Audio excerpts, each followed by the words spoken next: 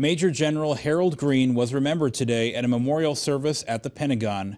General Greene was killed last week during an insider attack at Afghanistan's military academy in Kabul by a man believed to be an Afghan soldier. The shooting also wounded up to 15 others. General Greene was the deputy commanding general of the Combined Security Transition Command, Afghanistan. Army Chief of Staff General Ray Odierno says General Greene left an indelible mark on everyone who knew him.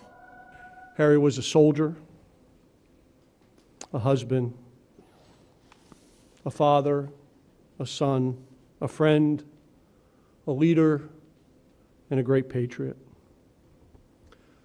His service and his sacrifice is a reminder to all Americans about the dedication, commitment, and the risk our men and women knowingly take when they raise their right hand to support and defend the Constitution of the United States.